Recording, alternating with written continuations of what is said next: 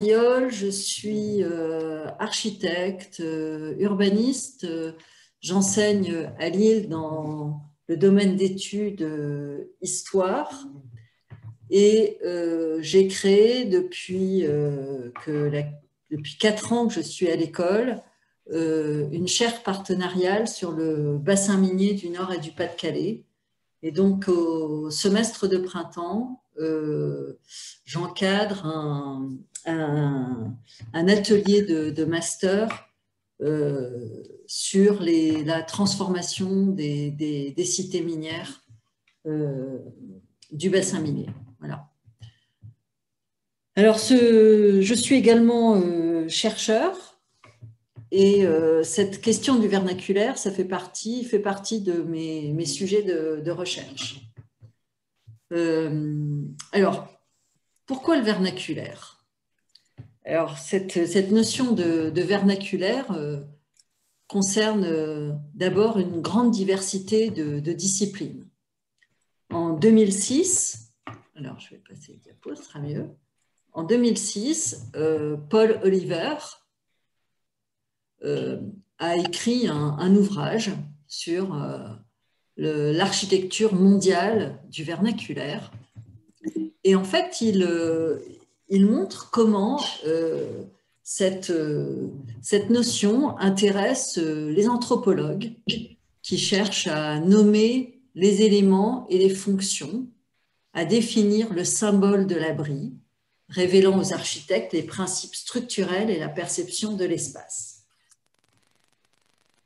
Il intéresse aussi les, les archéologues, qui sont eux à la recherche des racines de la culture, les historiens, notamment les historiens euh, du mouvement marxiste, euh, qui, eux, s'intéressent aux traces de la culture des classes populaires, aux historiens, qui, eux, plutôt conservateurs, qui ont créé des musées folkloriques, aux historiens romantiques, on pourrait dire, poursuivant la voie rousseauiste du noble sauvage et développant une admiration pour ce qui est naïf et, euh, et rudimentaire,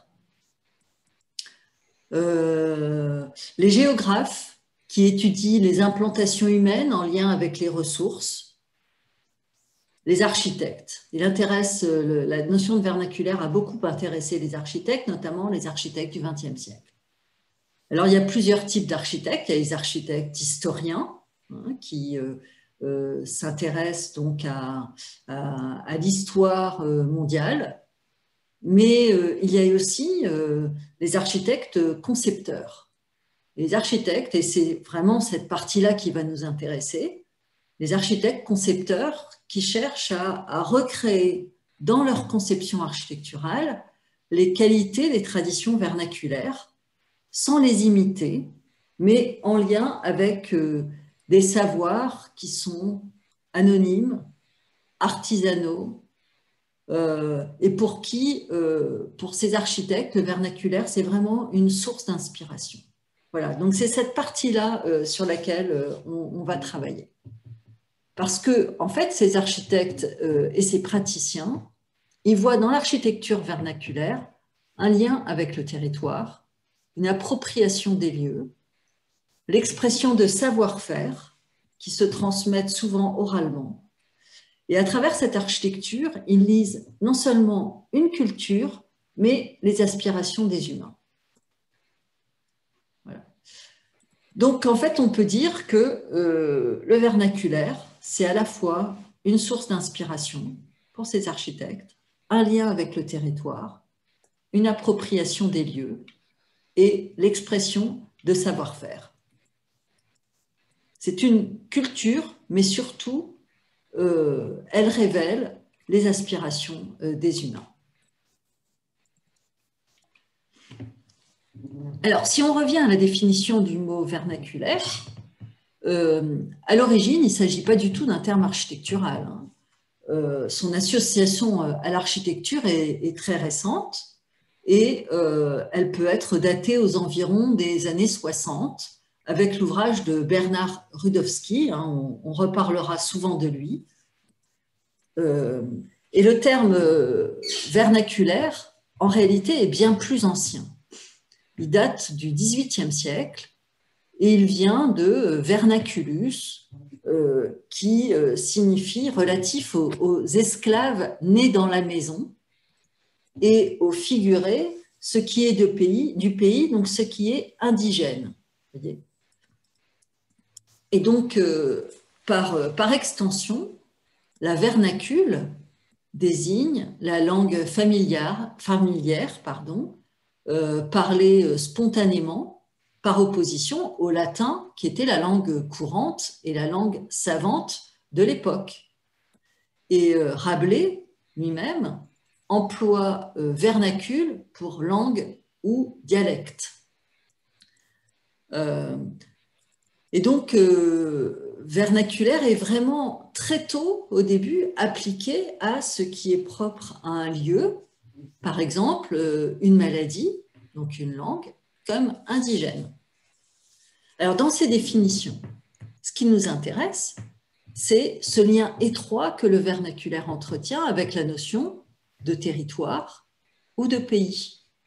C'est ainsi que l'architecture vernaculaire naît des ressources de la région où elle se développe, tout en s'adaptant à l'ensemble de ses contraintes, euh, des contraintes euh, climatiques, topographiques, culturelle. Et elle le fait dans une symbiose composée entre le climat, le site, les matériaux et le paysage. Bernard Rudowski, non, je vous ai parlé tout à l'heure, en 1965, écrit un livre qui s'appelle Architecture sans architecte. Et il associe à ce livre à ce, titre, pardon, un sous-titre Non-Pedigree Architecture, qui a été traduit en français par Architecture spontanée.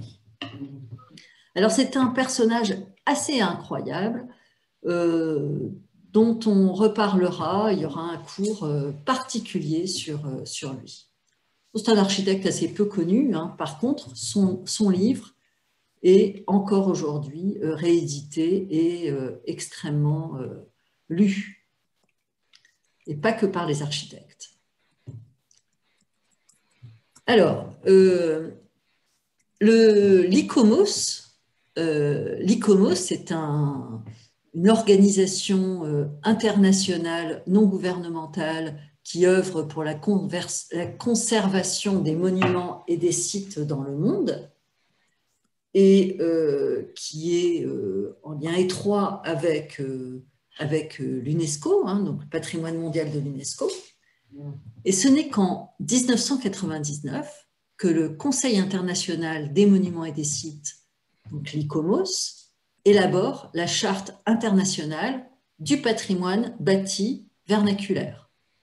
Et en 2002, il écrit un, grand rapport euh, qui est largement euh, illustré, qui s'appelle Heritage at Risk, et euh, qui est une, publication qui a pour objectif d'aider à la sauvegarde des valeurs mises en péril de l'architecture vernaculaire.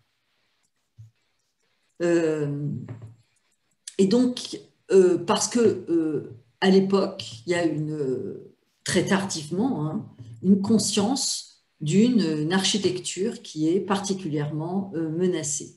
Or, ils font état du fait que cette architecture est partie intégrante de notre patrimoine culturel euh, et que l'architecture vernaculaire joue un rôle qui ne doit pas être sous-estimé, car celui-ci prend toute son importance lorsque on l'associe aux efforts mis en œuvre pour protéger des paysages culturels dans leur ensemble. Et euh, l'ICOMOS définit euh, l'architecture euh, vernaculaire comme un, concept où l'intention humaine se manifeste clairement à travers la promotion du travail et des rapports riches et complexes de l'homme à la nature. Il parle aussi d'une expression fondamentale de la culture, d'une collectivité, donc d'une communauté, hein, et de ses relations avec son territoire. Et en même temps, il parle de l'expression de la diversité culturelle du monde. Et dit, euh, là je cite encore l'ICOMOS, hein, c'est un processus en évolution nécessitant des changements et une adaptation constante en réponse aux contraintes sociales et environnementales.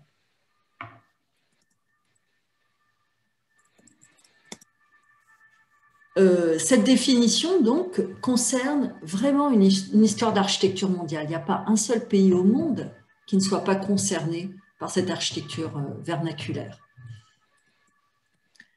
Elle est combinée, cette prise de conscience euh, de, la qualité, de l'importance de, cette architecture, est combinée aussi à la notion de paysage culturel vivant, qui euh, naît un peu plus tôt par l'UNESCO en 1992 et qui va permettre à l'UNESCO de labelliser des territoires entiers au titre du patrimoine mondial.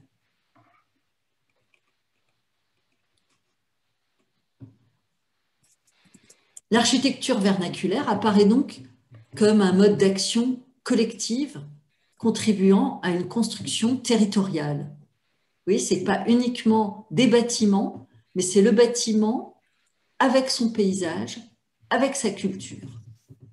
Et donc, c'est une manière de mettre euh, en avant les rapports de l'homme à la nature, de mettre en avant cette culture euh, collective et les relations au territoire. Et donc, l'architecture devient, pour les anthropologues, pour les ethnologues, pour les géographes, devient un outil de description de la diversité culturelle du monde. Nikomos encore souligne euh, la dimension existentielle de l'architecture. Alors, existentielle, qu'est-ce que ça veut dire? Ça veut dire que c'est une architecture qui est capable de s'adapter aux contraintes sociales et environnementales, dans le sens d'une entente entre l'homme et son milieu, acceptant le milieu comme un contexte changeant, soumis aux lois du climat et de la nature.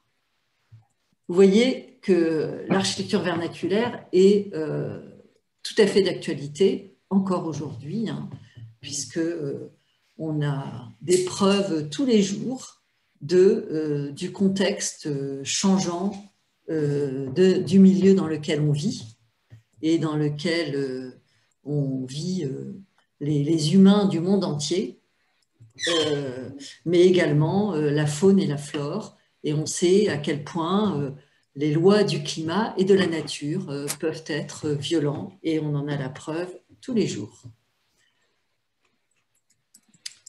Alors, c'est aussi dans cette période, donc vous voyez, fin des années 90, années 2000, hein, que Paul Oliver écrit l'encyclopédie d'architecture vernaculaire du monde. Et euh, c'est un moment euh, quand même assez fort, hein. c'est une commande qui lui a été faite euh, de l'UNESCO. Et donc, il y a trois volumes, 2500 pages, réunissant à la fois une approche théorique, des cartes culturelles et des relevés architecturaux. Le livre repère 1300 cultures, 6500 langues parlées, et il est le fruit de 700 contributeurs du monde entier, dont 40% sont architectes. Donc c'est un catalogue qui a visé patrimonial hein, pour euh, repérer euh, cette architecture, euh, la dimension patrimoniale de, cette architecture et de ces cultures. Euh, et euh, il met l'accent sur les réalisations plus que les démarches mises en œuvre. C'est-à-dire qu'il va s'intéresser vraiment à, la représentation, à l'image de, cette architecture.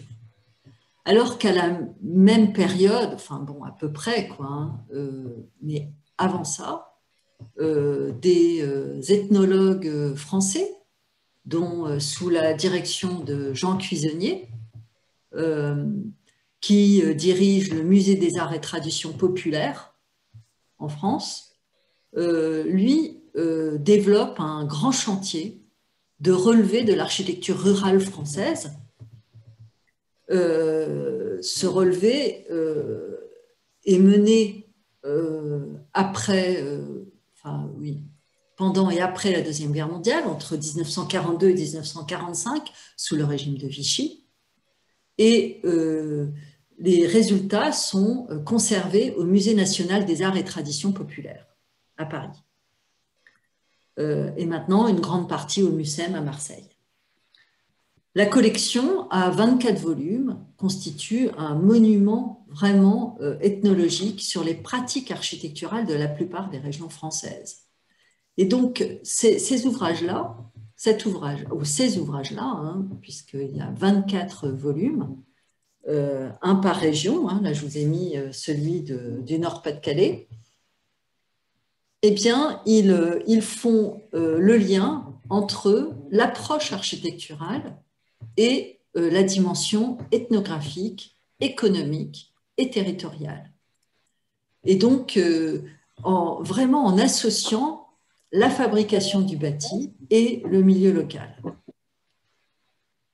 Et donc c'est là-dessus que euh, les catalogues euh, des parcs nationaux et régionaux français se sont appuyés pour euh, continuer à mettre en valeur et apporter de la connaissance sur cette architecture qui est tous les jours menacée, qu'elle soit abandonnée, hein, comme beaucoup de, villages ou de, patrimoine euh, rural, ou euh, qu'elle soit euh, rasée, transformée.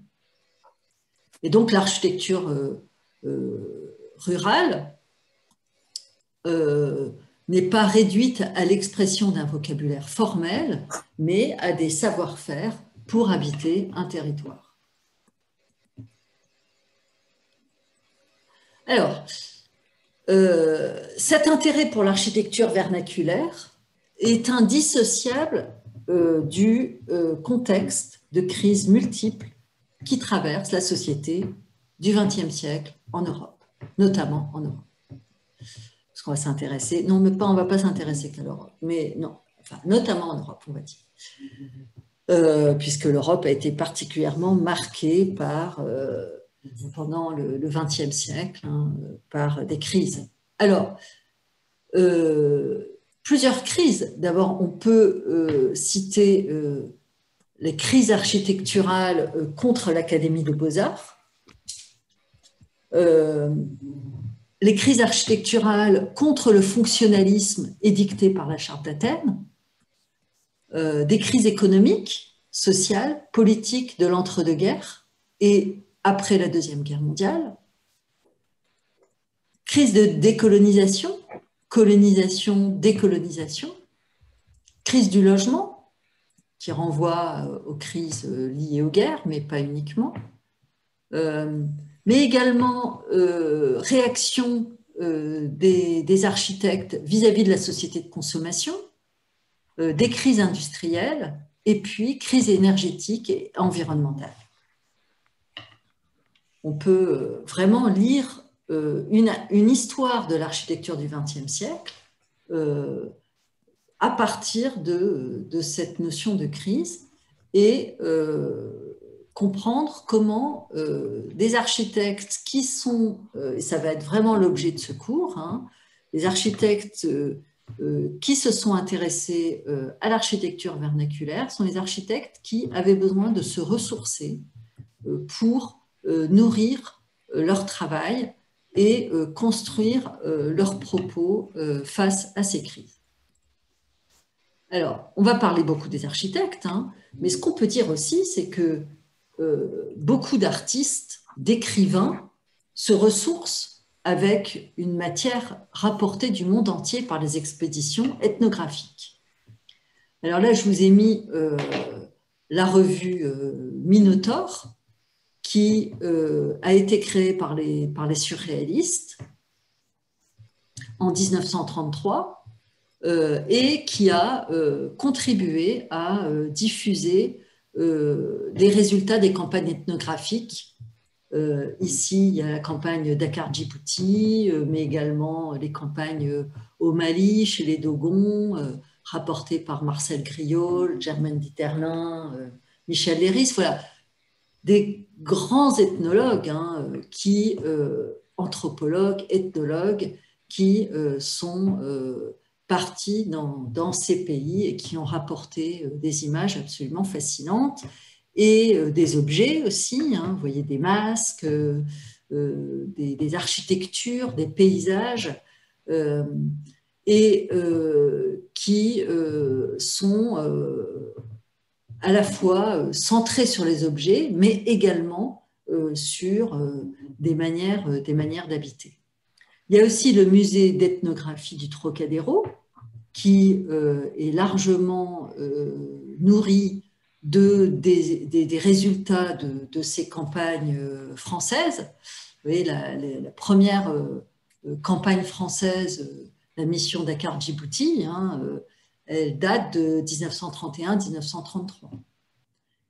Et pour revenir au musée d'ethnographie du Trocadéro, eh bien, il réunit ces objets issus oui, la raison pour laquelle, en fait, hein, il y a toutes ces missions, c'est que ce sont des territoires coloniaux.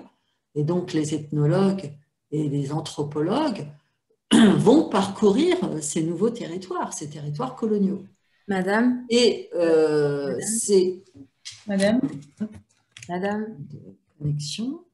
Non, ça va. Euh, ces territoires vont euh, inspirer donc, des mouvements artistiques comme le primi, primi le fauvisme et euh, le surréalisme. Euh, madame, excusez-moi.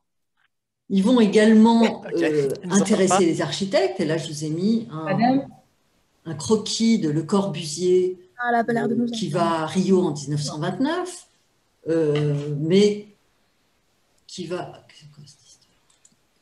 qui va également à Alger, donc, dans les carnets de croquis de Le Corbusier de cette époque-là, on trouve euh, beaucoup de, représentations euh, de cette architecture vernaculaire. Et lui va bien sûr beaucoup plus s'intéresser à euh, cette architecture méditerranéenne, cette architecture ou ici à Rio, cette architecture à blanche, à, à toit terrasse. Hein. Euh, de, ces villages euh, euh, vernaculaires.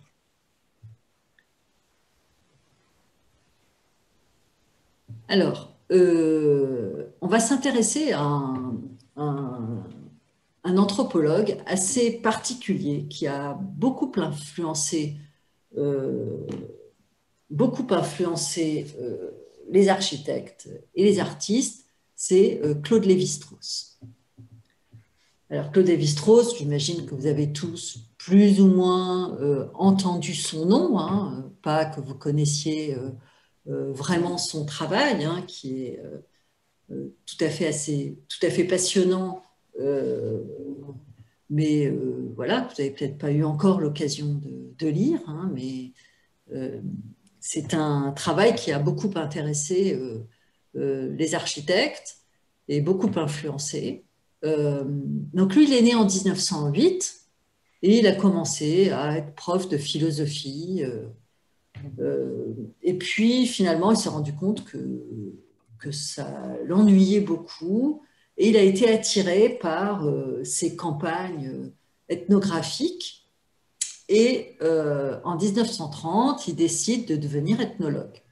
Et il fait une thèse sur la vie familiale et sociale des Indiens euh, Nambikwara en 1948.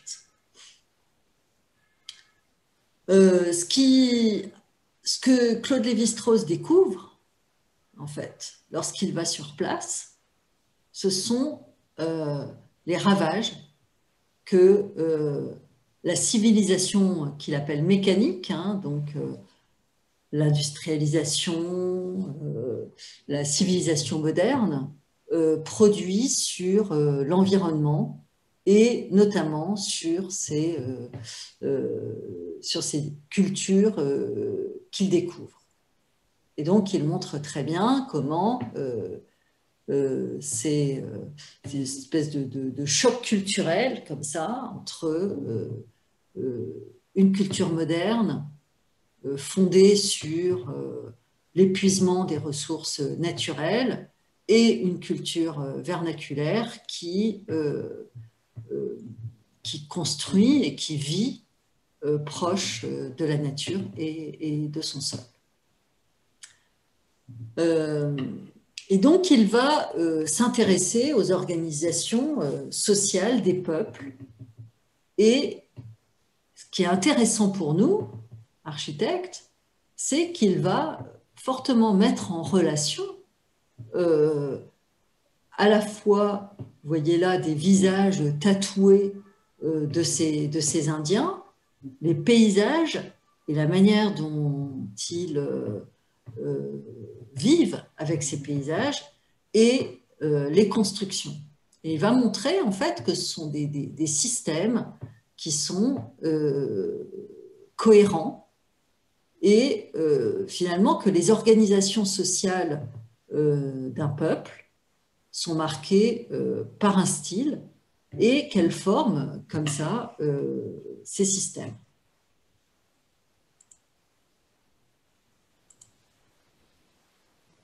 Alors, euh, il écrit en, 1962 La pensée sauvage.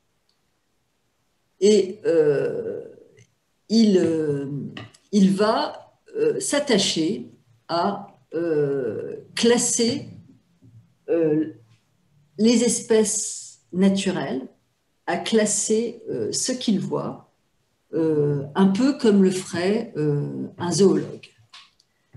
C'est-à-dire que pour lui, la pensée sauvage, en fait, euh, exprime des logiques qui sont euh, ignorées par la logique classique.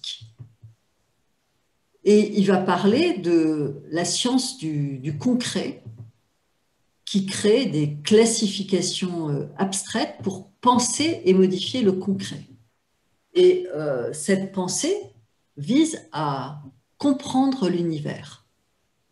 Donc, il va être le, créateur d'un mouvement euh, très important qui s'appelle le structuralisme, qui est un mouvement euh, philosophique, mais qui a euh, beaucoup également été utilisé dans, énormément de domaines, et notamment dans l'architecture, qui, manière, qui est une manière de, de classer les choses et de les mettre en relation les unes avec les autres.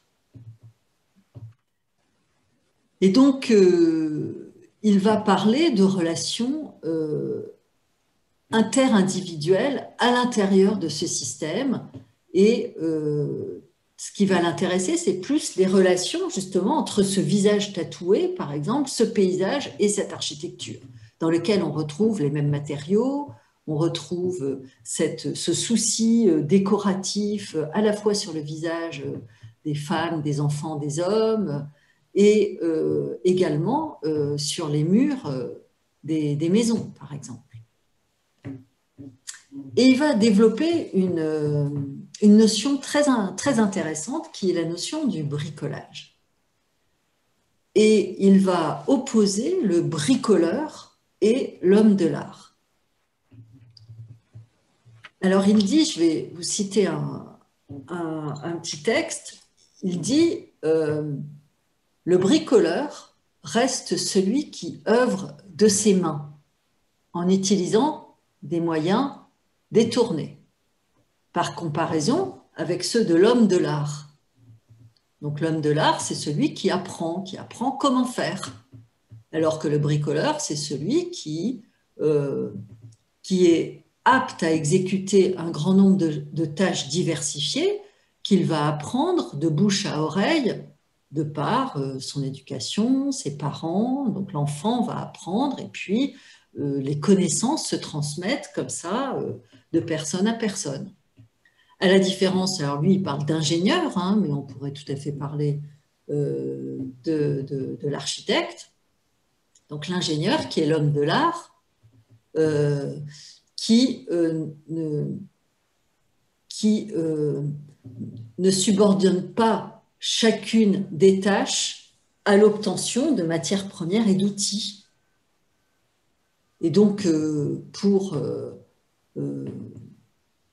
pour l'ingénieur,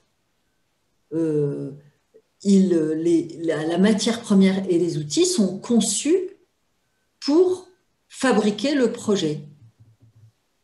Donc il est dans un, ce que dit Claude Lévi-Strauss, c'est que l'ingénieur est, dans un univers instrumental clos et que, euh, alors que pour le bricoleur, euh, la, règle, la règle du jeu est toujours de s'arranger avec les moyens du bord, c'est-à-dire dans un ensemble euh, à chaque instant fini d'outils et de matériaux hétéroclites, parce que pour lui, la composition de l'ensemble n'est pas en rapport avec le projet du moment. Et donc, euh, c'est peut-être un petit, peu, un petit peu compliqué, mais ce qui est intéressant, en fait, c'est qu'on a d'un côté le bricoleur qui va fabriquer avec ce qu'il a sous la main, voyez, les matériaux, s'il est dans un pays de pierre, il va construire avec de la pierre, s'il est dans un pays de terre, il va construire avec de la terre, si voilà, s'il y a des herbes, il va essayer de voir comment il peut les utiliser pour, euh, euh, pour son habitat. Alors que euh, l'homme de l'art va lui considérer qu'il va créer ses propres outils pour, pour fabriquer les projets idéaux. Alors quelques autres images du village Bororo de Keraja où on voit euh, la maison, euh, un homme et une femme devant, devant leur maison, euh, un Indien avec une tenue décorative, et à droite également à la fois des danses qui mettent en scène le paysage et des, des, paysages et des architectures.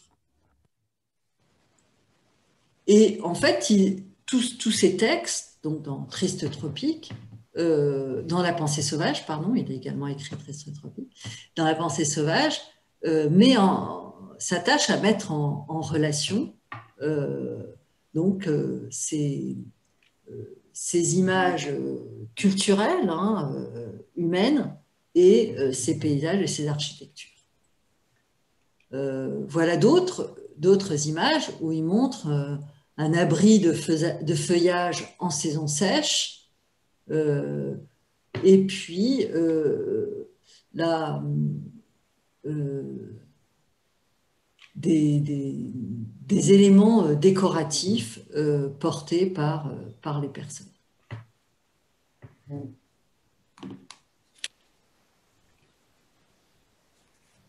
Alors, donc voilà, donc on a, on a d'abord, euh, dans un premier temps, euh, développé cette notion de, vernaculaire.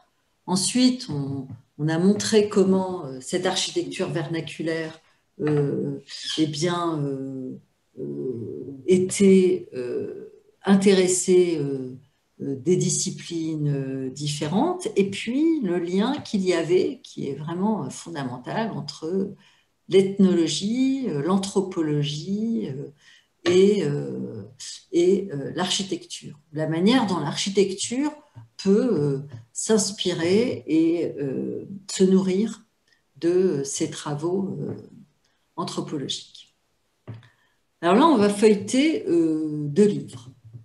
le premier livre, en fait, c'est celui de Bernard Rudowski, donc une architecture sans architecte, donc ça c'est la version euh, française, euh, une architecture insolite, et on va voir comment euh, Bernard Rudowski a répertorié ces images et comment, comment il les a classées. Pour, pour lui, en fait, associer le terme architecture et vernaculaire interroge de fait la place de l'architecte dans la conception de l'espace. Euh, donc, euh, quand il parle d'architecture sans architecte, c'est qu'il euh, s'intéresse à, à ces, images. C'est un grand, grand voyageur, hein, Bernard Rudowski. Il a pris beaucoup, beaucoup de photos, fait beaucoup de, de, croquis dans ses voyages. Il considère que les voyages sont vraiment ce qui est le plus important pour la formation d'un architecte. Et il dit, nous avons beaucoup à apprendre de ce que fut l'architecture avant de devenir un art de spécialiste. En particulier, les bâtisseurs autodidactes savent dans le temps et dans l'espace adapter avec un talent remarquable leur construction avec l'environnement. Au lieu de s'évertuer comme nous à dominer la nature, ils tirent un profit extrême des caprices du temps, des obstacles de la topographie. Et donc, il va euh, essayer de comprendre euh, et de saisir et de retransmettre et de transmettre euh, ces savoirs de, cette architecture mondiale. Et il va, on va voir dans les images, en tirer des exemples très pragmatiques et euh, très directement euh, opératoire. Alors, il voit d'une certaine façon une possible disparition de l'architecture et en même temps, de, l'architecte, pardon, disparition de l'architecte, et en même temps un renouveau de l'architecture par d'autres codes que ceux de l'architecture fonctionnaliste. Alors évidemment, c'est à mettre en relation avec les années 60, hein, et la naissance de l'architecture fonctionnaliste de la charte d'Athènes. Et donc, euh, pour lui, l'architecture vernaculaire fait partie de notre patrimoine culturel et son ancrage euh, dans les lieux euh, lui confère une adaptabilité permanente aux évolutions locales. Et voyez qu'on retrouve avec d'autres mots plus simples, hein, euh, la pensée de, de Lévi-Strauss.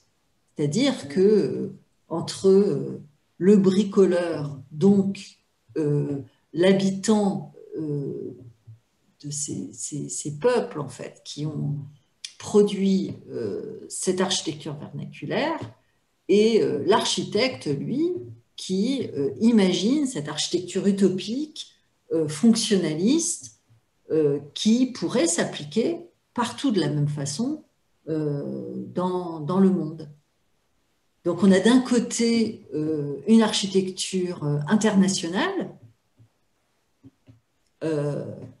donc qui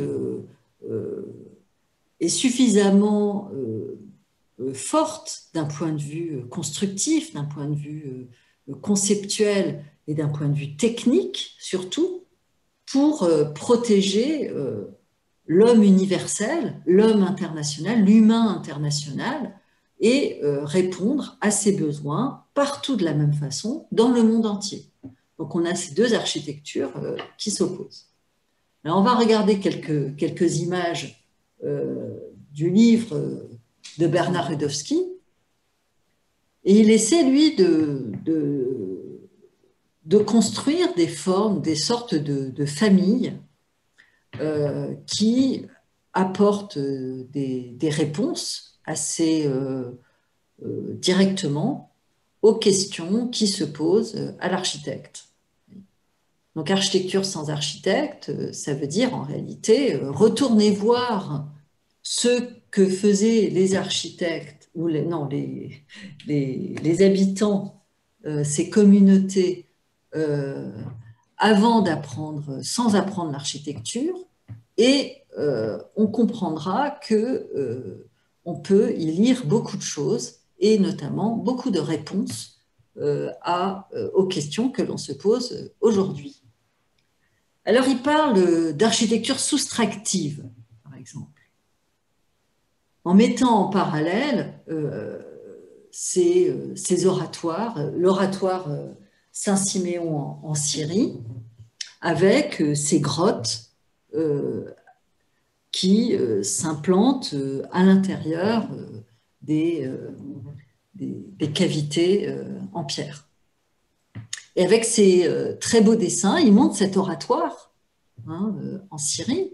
Et vous voyez la manière dont cette, cette, architecture se construit complètement à l'intérieur de, ce bloc, de ce bloc de pierre, de ce bloc de, de pierre calcaire. Et, et on comprend bien hein, à la fois cette dimension euh, très brute de, de, euh, de ce bloc de pierre, et puis à l'intérieur, la manière dont on a soustrait la matière, euh, creusé, soustrait la matière pour créer un lieu de culte. Donc ça, c'est l'architecture soustractive. On soustrait la matière. Le choix d'un site. Alors là, il prend un petit village grec de Terra et il montre euh, qu'il y a euh, deux euh, choix possibles de sites. Il y a le village qui est au bord de l'eau, au bord de la mer, le long de la côte, et puis le village qui est sur la crête, tout en haut, et qui profite d'une situation euh, euh, complètement différente. Et donc, il parle de choix d'un site, qui est vraiment euh, une des premières actions, en fait, hein, de, ces communautés qui s'implantent sur un territoire, c'est de s'implanter pour, en fonction de la sécurité du lieu, de, de la proximité, la présence de sources, par exemple, et, euh, et de, possibilités aussi de, communication euh, avec, euh, avec le, territoire.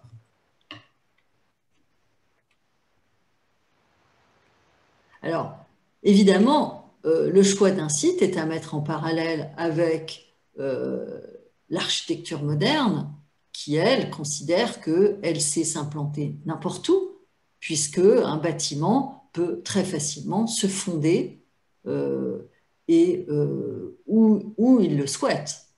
Donc, euh, avec l'architecture internationale, la question du choix du site n'est pas du tout posée de cette façon-là. On peut implanter une barre pourvu qu'elle soit orientée est-ouest ou nord-sud on peut l'implanter euh, autant à flanc de coteau que sur la crête ou au bord de l'eau. Un autre exemple d'un choix de site, c'est un bourg de montagne en Italie. toutes ces photos hein, sont, extraites du, livre euh, Architecture sans architecte et sont euh, des, photos même de, de Bernard Rudowski lui-même. Ici, on a un petit village qui est euh, euh, un, petit bourg, de montagne dont on voit qu'il s'implante dans la partie euh, la plus accueillante de cette montagne relativement abrupte. Et donc ce village est à la fois très ramassé et implanté physiquement au bon endroit, à la fois au bon endroit et presque invisible en fait hein, sur cette pente, sans rupture. Alors il s'intéresse également euh, aux architectures des nomades et euh, aux structures, aux armatures que euh, ces, ces, architectures conçoivent et qui sont finalement à la fois très simples, hein, parce qu'on peut les, elles sont les construire soi-même, euh, elles sont réalisées avec des matériaux disponibles euh, à proximité.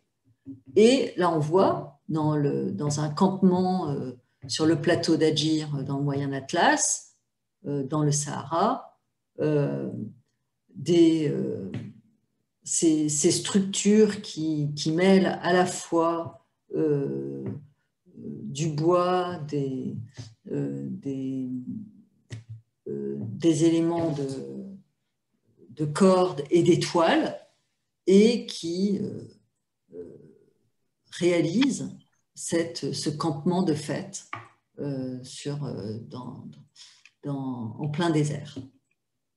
Voilà. Donc, il en fait des petits, il en fait des petits dessins, hein, et ces petits dessins révèlent toute l'intelligence de, cette, de cette structure. Il parle également de mimétisme architectural à partir de, ici, d'un, encore un, petit village euh, de bord de mer euh, euh, au bord de la mer Égée, où là, l'architecture ressemble à des, à des, cailloux, ressemble à, la roche. donc, l'architecture vient vraiment imiter la nature et disparaître complètement euh, dans, euh, dans son cadre euh, naturel.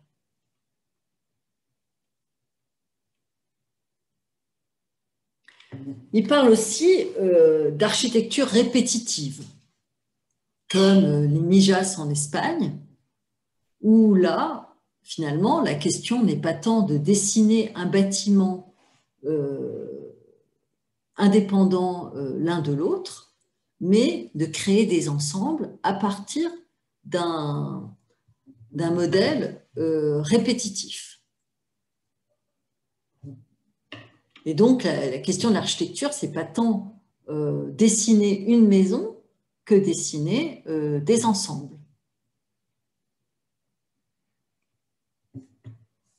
Alors là, on est à Séville, dans les, des rues semi-couvertes, où l'on voit euh, toute euh, à la fois cette, euh, cette ingéniosité de ces toiles qui recouvrent les rues pour créer de l'ombre et cette beauté des, des, ombres dans ces passages couverts. Donc il y a à la fois une grande, un, grand une grande pensée savante de ces toiles qui tiennent, etc. Et euh, également euh, une pensée euh, plastique, décorative, qui font que ces rues, ces rues sont extrêmement belles et que la protection contre le soleil est un atout décoratif pour la rue. Alors là, on est euh, sur la question des loggias, donc euh, la protection, euh, solaire, à la fois dans le Caucase et près de Madrid, où il montre également la beauté de ces loggias qui sont comme des, dans des éléments presque massifs hein, et euh, qui viennent à la fois euh, disparaître, toutes s'orienter évidemment euh, du même côté, hein, du côté du soleil, et apporter à la fois de l'ombre dans les logements et des terrasses dans lesquelles on voit qu'on peut faire sécher le linge, mais également que l'on peut euh, s'y tenir euh, le soir lorsqu'il fait plus frais.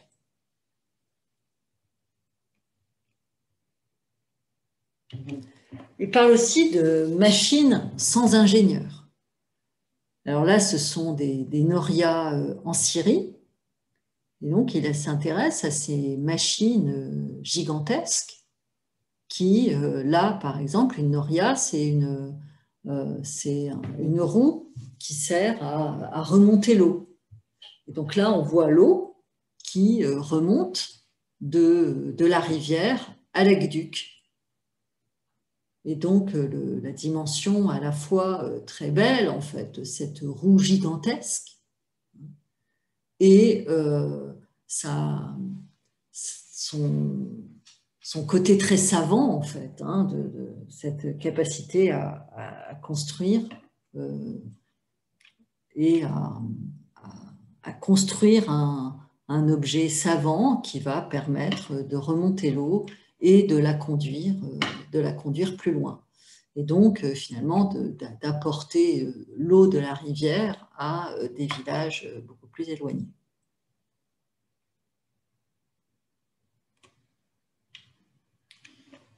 Ici, c'est une maison arbre en Nouvelle-Guinée où cette, cette construction sur pilotis avec des, petits escaliers euh, d'accès euh, euh, permet à ce village de, de, créer des, formes d'habitat en toute sécurité au, milieu des, au milieu des arbres et de profiter de, des, arbres autour pour comme structure.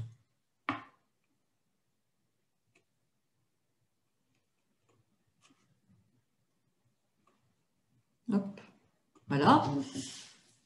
Et là, on a euh, des serres euh, pergola de, pour, euh, qui, qui servent à, à, cultiver des citronniers, des limonés, des limonés au bord du lac de Garde qui sont euh, à la fois construits en structure de pierre, sur lesquels repose euh, une structure de bois, et sur lesquels il peut y avoir des, toiles qui viennent euh, protéger les, citronniers du froid et gérer la question du climat.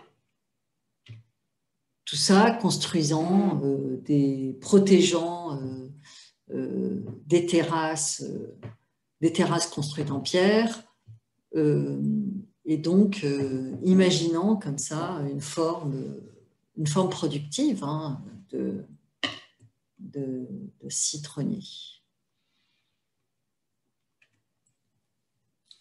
Alors, il parle également de, il regarde également, alors là, c'est les, les en fait, c'est un, élément euh, qui a beaucoup fasciné euh, les architectes, hein, qui sont des, tours, euh, des, tours qui rafraîchissent les, logements. Et donc là, on est au Pakistan, mais on retrouve, on retrouve ce dispositif dans pas mal de pays.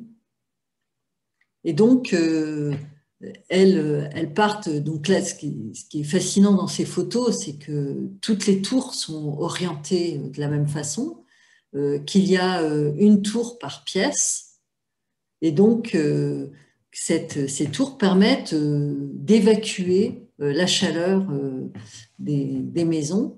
Et on reviendra sur, ces éléments-là, car elles fonctionnent également avec euh, un système de, rafraîchissement en cave et donc de, par euh, rafraîchissement en cave par la circulation de, l'eau euh, et l'évacuation de la chaleur par ces systèmes de cheminées qui montent les unes les autres au plus haut possible pour, pour évacuer, la chaleur. Donc ça donne ces rythmes comme ça assez, assez fascinants en fait euh, d'espèces de, de, villages complètement hérissés euh, par les tours.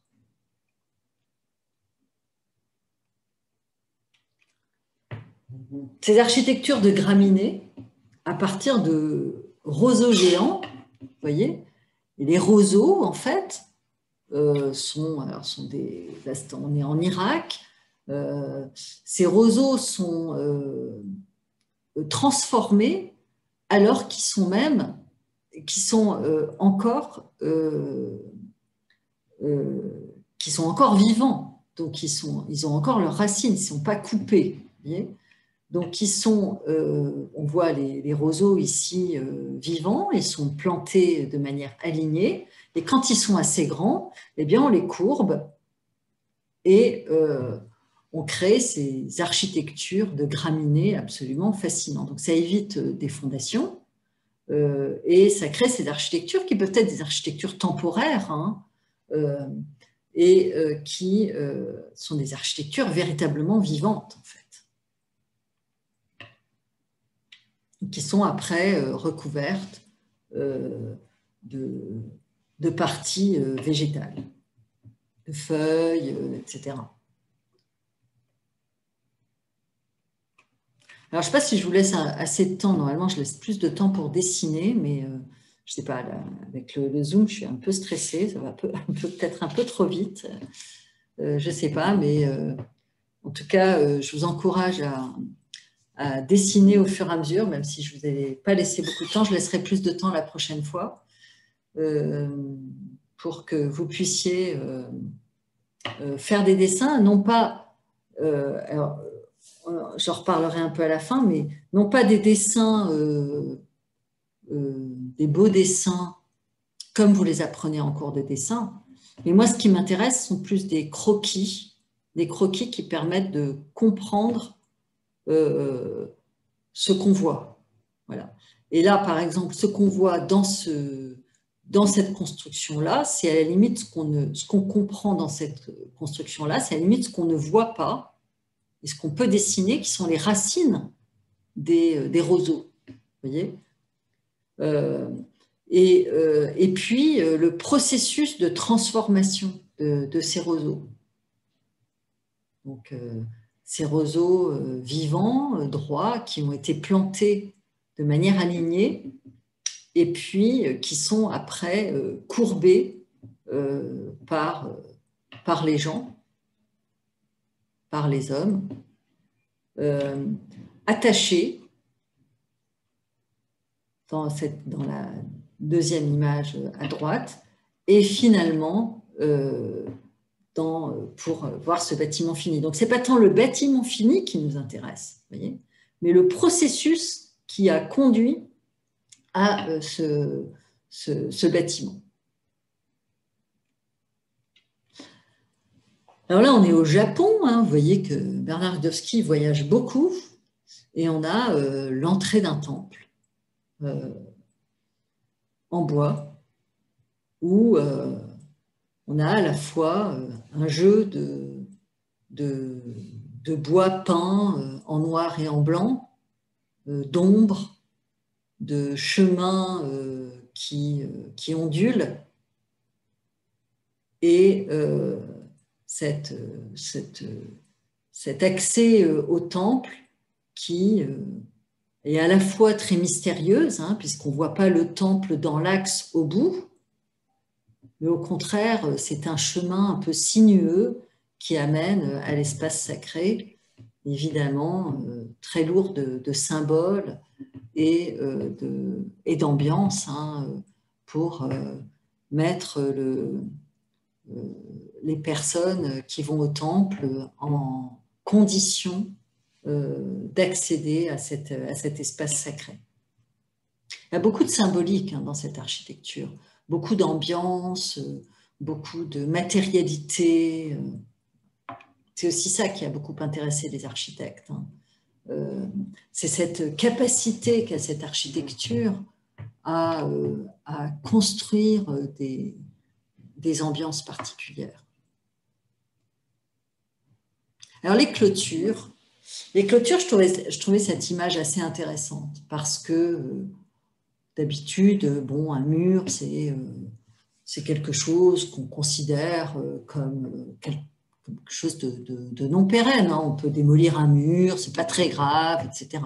Mais là, en fait, on a au Cameroun ces, ces concessions qui sont organisées autour de clôtures. Et euh, on voit que ces clôtures, alors là, euh, vues de haut, eh bien, euh, elles, elles, permettent, elles, sont vraiment à, l'origine de, de, la, de la construction de, de ce village et de la de l'autonomie, de l'implantation des, des, des, bâtis dans, dans, dans, un site. Donc on est apparemment dans un site assez hostile, assez euh, désertique, hein, et euh, probablement que ces, euh, ces, ces, murs renferme des lieux plus, plus accueillants et autour de une ou deux ou plusieurs familles. Alors les voûtes des bains turcs, vous en avez peut-être déjà vu hein, si, si vous êtes allé dans des hammams euh, dans, plusieurs pays, euh, et bien là aussi, on a une invention magnifique euh, à partir, soit à partir de, de réservation de trous dans une, dans une voûte, soit à partir d'éléments de verre ou d'éléments translucides positionnés à l'intérieur de ces voûtes pour recréer encore une fois ces ambiances euh, euh, tout à fait euh, saisissantes en fait hein, dans ces volumes. voilà, donc pour le livre de Bernard Rudowski. Alors on va maintenant passer à un, autre livre qui est celui de Pierre Fray, qui est un livre euh, beaucoup plus récent, hein, qui date, euh, je crois, de 2010. Euh, Pierre Frey donc, est un professeur à l'école d'architecture, enfin à l'université de Lausanne. et il est maintenant à la retraite, mais il a écrit ce livre, Learning from Vernacular. Et pour lui, en fait, euh, l'enseignement de l'architecture passait systématiquement en première année par euh, des relevés d'architecture euh, en France, en Suisse, en Suisse, et à l'étranger de cette architecture vernaculaire, pour justement arriver à comprendre l'origine de l'architecture. Et euh, il en avait fait euh, avec pendant des années et des années. Hein, avec, euh, ils enseignaient à plusieurs l'architecture vernaculaire en première année et les étudiants fabriquaient des maquettes magnifiques de ces architectures. Et pour Pierre Frey, en fait, l'architecture vernaculaire, c'est l'art d'enchanter la technique d'imaginer des solutions économiques en n'utilisant que des ressources locales. Et lui, ce qui l'intéresse, c'est cette nouvelle architecture vernaculaire. C'est comment on apprend cette architecture vernaculaire pour continuer l'architecture aujourd'hui. Et il dit, euh, l'architecture vernaculaire, elle surgit dans un tourbillon impressionnant de volume, d'espace, de couleurs, de matériaux et de mise en œuvre voyez, donc on a à la fois cette question des volumes, des espaces intérieurs, des couleurs, des matériaux et de ces compétences de, mise en œuvre. Alors on va en feuilleter quelques pages également. Euh, et donc, euh, lui, vous voyez, c'est un petit peu... c'était en 2010, c'est ça, Pierre Fray.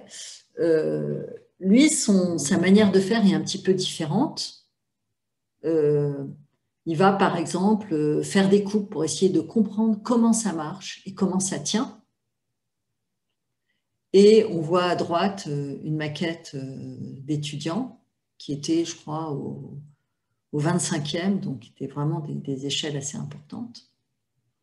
Là, par exemple, euh, dans cette euh, habitation à court euh, en Chine, eh bien, il montre l'ambiance intérieure et il montre cette coupe qui est complètement passionnante parce qu'elle explique la manière dont ces constructions sont faites. C'est-à-dire qu'elles sont faites à partir de murs, de murs en terre, qui sont construit en arrière euh, de la construction euh, et d'une structure en bois devant, donc une structure légère qui vient euh, s'implanter, donc un peu comme des boîtes, comme des boîtes en bois, en s'appuyant sur ce mur. Donc le mur, finalement, c'est un peu comme une étagère, en fait. Hein. C'est comme un, mur sur lequel on vient mettre des étagères. Voilà. Et la structure en bois vient soutenir la toiture. Donc on a une structure, on a vraiment un système d'étagères. Et ce qui est fascinant, en fait, là on voit sur la maquette à droite, c'est que euh, c'est une construction circulaire euh, qui euh, recrée comme un petit village avec des loggias à l'intérieur et des logements sur plusieurs niveaux. Ici, il s'intéresse à l'architecture euh, antisismique et thermique et regarde euh, des systèmes euh, de, construction de murs en Afghanistan qui alternent des lits de bois et des lits de pierre. Et c'est dans cette... Alors vous voyez, il y a des, des, madriers, donc des poutres dans les deux sens. Hein. donc il y a une espèce de, quadrillage de, poutres de bois. Hein, on voit les, poutres de bois qui dépassent là, hein, en, bout. Et euh, entre les poutres de bois, eh bien, on a euh, des lits de pierre. Et donc tout ça, ça produit un mur qui est très épais, qui est très solide, mais qui est également euh, souple et donc, il est à la fois thermique par le bois et par la pierre, et il est également antisismique parce que la construction bois, finalement, lui apporte de la souplesse. Alors, comme ils sont suisses, ils s'intéressent également au chalet suisse. Et donc, ils montrent que le chalet suisse, en fait, c'est un, un chalet qui est euh, assis sur un socle de pierre, donc qui le protège euh, de, de, la pluie, de la neige, mais également des, animaux, et une structure en bois qui est presque qui est suspendue, enfin non pas suspendue, mais non pas suspendue, qui est euh, qui s'appuie sur euh, cette volumétrie en pierre, mais avec qui est décollée. Vous voyez, on voit dans le dessin en bas à gauche comment ce volume de bois est décollé du socle de pierre. Donc là, on voit encore des maquettes des étudiants et euh, des, façades et des coupes qui permettent de comprendre euh, comment, euh, ces maisons sont construites, ces chalets sont construits.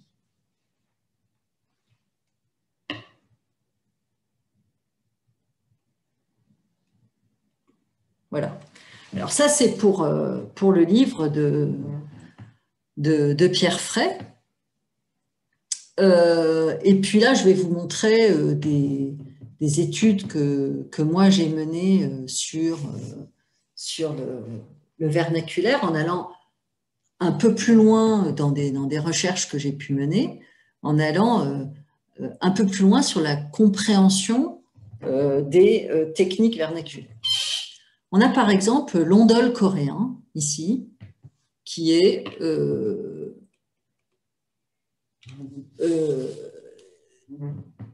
est euh, fondée sur un, la maison. Alors, l'ondole coréen euh, est appliqué autant à une maison, une petite maison rurale pauvre, populaire, que à un palais. Donc, c'est vraiment un système constructif qui existe encore aujourd'hui en Corée et euh, qui est basé sur, euh, un, socle de pierre dans lequel euh, circule la chaleur. Alors, comment circule la chaleur? La chaleur, elle circule, vous voyez dans l'image en bas à droite, elle circule à partir de la cuisine, à partir d'un foyer, d'une source de chaleur qui est en fait la cuisine. Hein. on voit ces grosses marmites dans lequel eh bien, on fait cuire euh, euh, le repas, la soupe, euh, par exemple. Et on voit dans les petites coupes que, que j'ai faites comment la chaleur se transmet à ce socle. Et on voit dans le dessin en bas à droite que le socle, que sous le plancher, en fait, il y a des pierres qui captent la chaleur, mais qui aussi ralentissent la circulation de la chaleur. Et euh, si bien que la chaleur euh, a euh, un parcours un peu, un peu complexe à, effectuer, ce qui la ralentit et ce qui permet à ces pierres de, capter et donc de, jouer de l'inertie pour retransmettre la chaleur pendant la nuit. Et ce que qu'expliquent en fait les, textes sur les ondoles coréens, c'est que cette technique est euh, complètement euh, induit une forme de vie euh, au sol où les, Coréens eh bien, vivent assis par terre pour manger, se couchent sur des nattes pour dormir et donc, on a une adéquation totale entre euh, la manière des usages, la manière de vivre et euh, la technique euh, de chauffage des maisons. Parce que en soi, les maisons au-dessus, en fait, elles sont en, bois et donc elles ont très peu d'inertie. Vous voyez, donc c'est un peu comme le, comme le chalet, le chalet suisse. Hein. on a un contraste fort entre la manière dont on s'isole du sol, sauf que là, le sol, en plus, il est chauffé, et la manière dont, euh, euh, la, construction légère au-dessus, euh, elle, a beaucoup moins d'inertie. Il y a aussi un élément intéressant, c'est les murs à pêche à Montreuil, en région parisienne. Ces murs ont été construits pour cultiver des pêches. Et euh, sur les hauts de, Montreuil, euh, en banlieue parisienne, on a ces constructions qui existent encore et qui ont été d'ailleurs euh, qui ont été classées et qui sont orientées de telle manière à ce qu'ils alors ils sont, sont des murs en pierre qui sont passés à la chaux, donc ils sont blancs, là, ils sont un peu vieux, hein, mais ils sont blancs. Ils étaient blancs et euh, très rapprochés de telle manière à permettre la réalisation d'un microclimat euh, favorable à euh, la culture de pêche. C'est quand même assez étonnant d'aller faire pousser des, des pêchers en région parisienne. et donc cette invention qui est très très simple en fait, eh bien, a permis de, cultiver des pêchers pendant très très longtemps à Montreuil, avant qu'ils ne soient concurrencés au début du 19e siècle par euh, euh, les pêches venant du sud de la France, euh, ramenées par, par les, transports ferrés. Et donc, avec l'arrivée du train, eh bien, les murs à pêche ont périclité parce que parce que les, fruits venant euh, du sud de la France eh bien, arrivaient en quantité avec euh, des, moyens de production euh, beaucoup plus simples et beaucoup moins coûteux que ceux des murs à pêche. Mais c'était intéressant de voir comment on peut recréer un microclimat avec des murs épais qui passaient à la chaux et bien orientés. Je reviens sur les bagdirs qu'on a vus tout à l'heure. Là, on est euh, en Iran. Et la manière dont les bagdirs, ces bagdirs, ont été euh, euh, réinterprétés dans un ensemble qui est très connu, je ne sais pas si vous le connaissez, mais vous le découvrirez un jour, qui s'appelle BZ, qui est un des premiers écoquartiers qui a été réalisé à Londres. D'ailleurs, je vous encourage à regarder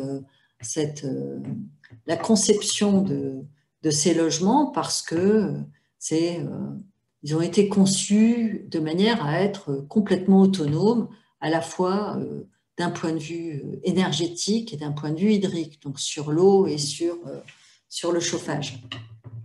Voilà. Et les, les, architectes se sont fortement inspirés des tours à vent iraniennes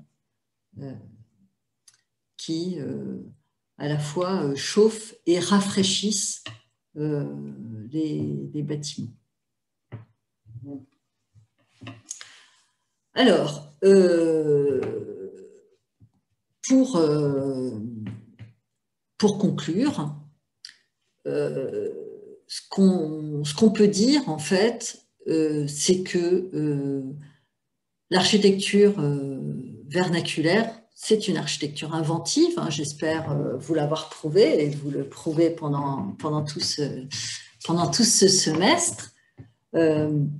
Et elle est fondée sur des, relevés euh, de l'espace du quotidien des populations euh, rurales euh, dès le début du XIXe siècle. Alors, ces, relevés sont dressés dans un cadre de bouleversement du territoire et ils, sont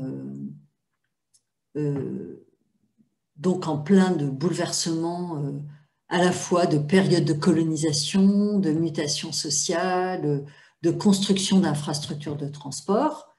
Et euh, il se poursuit pendant euh, les différentes périodes du XXe siècle, qui sont euh, des périodes de décolonisation, d'exode rural, de nostalgie de la campagne et de naissance et critique de l'architecture fonctionnaliste et d'une opposition qui va naître entre euh, les villes et les campagnes, les villes qui vont devenir des lieux de modernité euh, et les campagnes qui vont être perçues comme des lieux de, pauvres, arriérés, utilisant encore la terre des sols en terre battue, alors qu'en ville, on utilisait le béton, etc. Euh, et donc, ce qu'on peut dire, c'est que de la même façon que, que ces, ces, modes de, vie ont été fortement dénigrés hein, par, euh, par ces périodes d'industrialisation, de colonisation et d'émergence de, de l'architecture moderne, il en est de même des matériaux de construction qui ont évolué en fonction de l'évolution des transports. À partir du moment où on pouvait euh, euh, faire euh, récupérer des graviers ou du sable et le transporter dans les villes, eh bien, les matériaux du pays étaient complètement concurrencés par des nouvelles filières de production, d'abord nationales et ensuite internationales. Et donc, euh, euh, ça a commencé avec euh, l'époque du chemin de fer et qui a complètement bouleversé ces, outils de, production et de construction.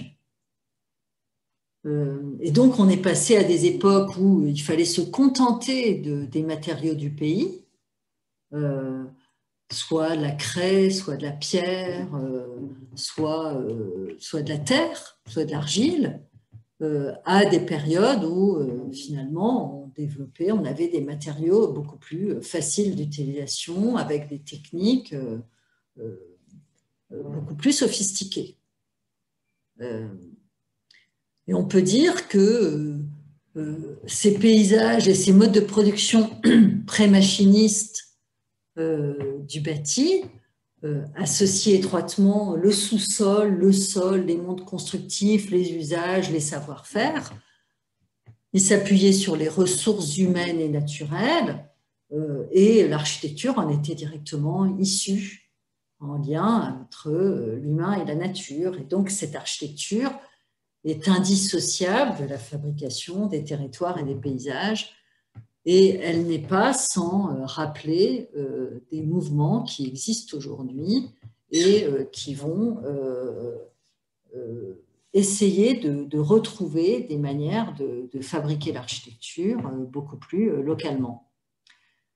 Et donc l'architecture vernaculaire, j'espère vous l'avoir démontré déjà aujourd'hui, elle est bien plus qu'un patrimoine à ranger dans la catégorie du passé ou dans celle de l'architecture dite exotique, hein, puisqu'elle est à l'origine de démarches créatives et critiques de la société euh, du XXe siècle.